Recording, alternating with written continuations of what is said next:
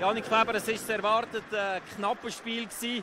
Ist am Schluss ein bisschen Glück, wenn dann der Böck gleich noch reingeht? Ja, es ist definitiv ein Glück, was Goal gewesen. Ähm, aber wir haben gewusst, dass wer auch immer das Spiel gewinnen, es wird nicht ein schönes Goal gewesen sein. Es, äh, ich glaube, wir haben beide sehr gut defensiv gespielt, wir haben beide sehr gute Goalinnen.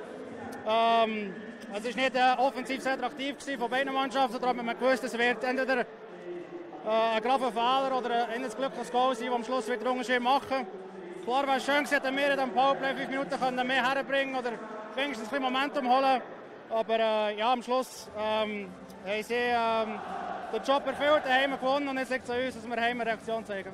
Sie haben die fünf Minuten Powerplay angesprochen.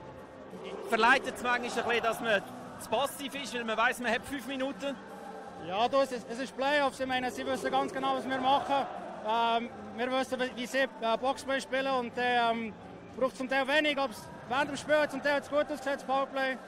Aber in diesen fünf Minuten ist leider nicht viel Stand gebracht worden und ähm, ja, das hat mir den Sack zu machen. Danke vielmals. Ja,